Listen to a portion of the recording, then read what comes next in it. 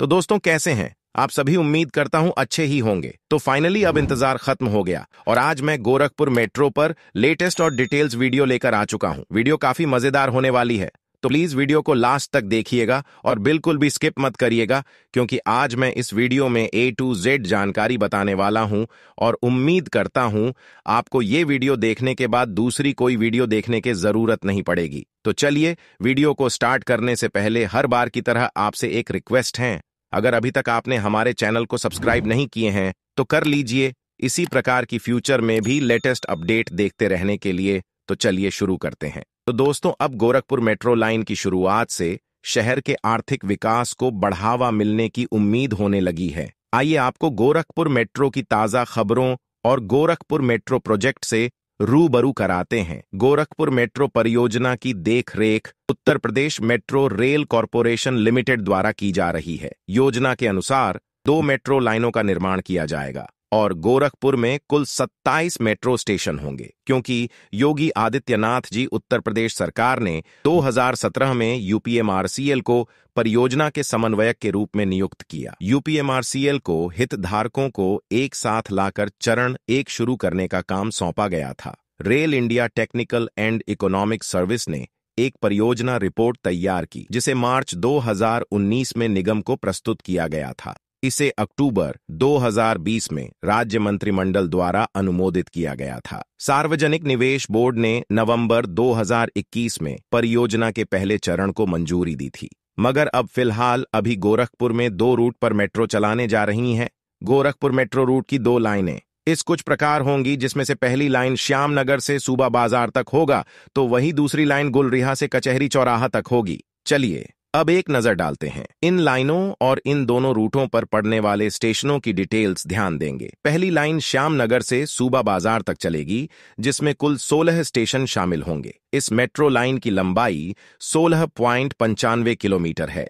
यहाँ वे विभिन्न स्टेशन हैं, जिन्हें यह मेट्रो लाइन कवर करेगी श्याम नगर बरगदवा शास्त्री नगर नथमलपुर, गोरखनाथ मंदिर, हजारीपुर, धर्मशाला। यह एक इंटरचेंज स्टेशन भी रहेगा। गोरखपुर रेलवे स्टेशन विश्वविद्यालय, मोहद्दीपुर, रामगढ़ झील, AIIMS, Malviya Nagar, MMM engineering college, Divya Nagar, Suba Bazar तक रहेगा। चलिए अब दूसरी लाइन की बात करते हैं। तो ये गुल रिहा से कचहरी चौराहा तक चलेगी, जिसमें कुल 11 स्टेशन शामिल होंगे। इस मेट्रो लाइन की लंबाई दस किलोमीटर है। आइए उन विभिन्न स्टेशनों पर भी एक नज़र डालें, जिन्हें यह मेट्रो लाइन कवर करेगी। Gulariha, BRD medical college, Mugla, Khajanchi Bazar, Basharatpur, Ashok Nagar, Vishnunagar, Asuran चौक, धर्मशाला। ये एक इंटरचेंज स्टेशन भी रहेगा। गोलघर, कचहरी चौराहा तक चलेगी दोस्तों। अब जो मैं बताने वाला हूँ, उसे ध्यान से सुनिएगा। इसमें आपका काफ़ी प्रॉफिट होगा मेट्रो स्टेशन बन जाने से। तो मैं आपकी जानकारी के लिए बता दूँ, गोरखपुर मेट्रो लाइन के पास संपत्ति में निवेश करना एक अच्छा निर्णय हो सकता है। यह विकास के लिए एक उत्कृष्ट अवसर और निवेश पर महत्वपूर्ण प्रतिफल प्रदान कर सकता है। गोरखपुर मेट्रो लाइन के पास संपत्ति में निवेश करते समय विचार करने के लिए यहाँ कुछ शीर्ष स्थान भी बताया गया है, जैसे कि बशारतपुर यहाँ पर पूर्वी गोरखपुर में स्थित बशारतपुर मेट्रो लाइन के निकट होने के कारण मांग वाले आवासीय क्षेत्र के रूप में उभर रहा है। दूसरी लाइन पर बशारतपुर क्षेत्र के लिए एक मेट्रो स्टेशन होगा। इसके अलावा पहली लाइन पर आगामी शास्त्री नगर मेट्रो स्टेशन बशारतपुर से 4.2 किलोमीटर की दूरी पर स्थित है। यह एक शांतिपूर्ण रहने का वातावरण और स्कूल, अस्पताल और मनोरंजन केंद्र जैसी आवश्यक सुविधाएँ प्रदान करता है। बशारतपुर में संपत्ति की कीमतें अपेक्षाकृत सस्ती हैं, जो इसे बजट के प्रति जागरूक निवेशकों के लिए एक आदर्श विकल्प बनाती हैं। वहीं अगर दूसरी स्टेशन की बात करें तो सिविल लाइंस स्टेशन गोरखपुर के मध्य में स्थित सिविल लाइंस एक प्रमुख आवासीय क्षेत्र है, जो मेट्रो लाइन से उत्कृष्ट कनेक्टिविटी प्रदान करता है। आगामी हजारीपुर और Dharamshala metro station civil line से तीन किलोमीटर से भी कम दूरी पर स्थित हैं। इलाके अपने सुनियोजित लेआउट अच्छी तरह से बनाए रखा बुनियादी ढांचा और शैक्षिक संस्थानों, अस्पतालों और वाणिज्यिक केंद्रों से निकटता के लिए जाना जाता है। सिविल लाइंस में संपत्ति की कीमतों में लगातार वृद्धि देखी गई है, जिससे यह एक आकर्षक निवेश विकल्प बन गया है। और अगर वहीं हम शाहपुर स्टेशन की बात करें तो यहाँ असुरन चौक मेट्रो स्टेशन के करीब स्थित शाहपुर एक तेज़ी से विकासशील क्षेत्र है, जो आवासीय और व्यावसायिक संपत्तियों की पेशकश करता है। उक्त मेट्रो स्टेशन शाहपुर से लगभग 1.3 किलोमीटर की दूरी पर है। कॉलोनी अपने सुनियोजित बुनियादी ढांचे अच्छी कनेक्टिविटी और शैक्षणिक संस्थानों, अस्पतालों और शॉपिंग सेंटरों से निकटता के लिए जानी जाती है। शाहपुर में संपत्ति की कीमतों में वृद्धि की प्रवृत्ति दिखाई गई है, जो निवेशकों को विकास क्षमता की तलाश में आकर्षित कर रही है। और फिर,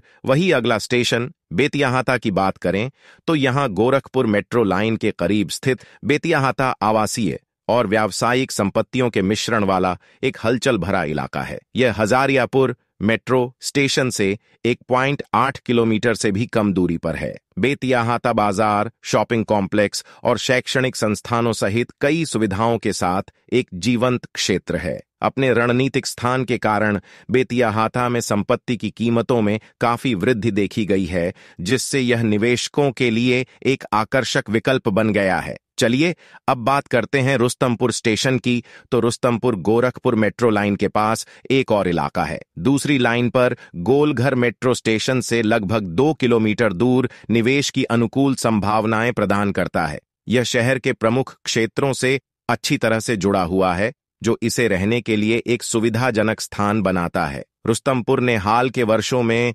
महत्वपूर्ण आवासीय और वाणिज्यिक विकास देखा है। और संपत्ति की कीमतों में लगातार वृद्धि हुई है। यहाँ प्रॉपर्टी में निवेश करने से लॉन्ग टर्म रिटर्न मिल सकता है। मेट्रो सेवा शुरू होने से गोरखपुर के आर्थिक और ढांचागत विकास को गति मिलेगी। ये शहर के भीतर विभिन्न क्षेत्रों के बीच संपर्क में सुधार करेगा।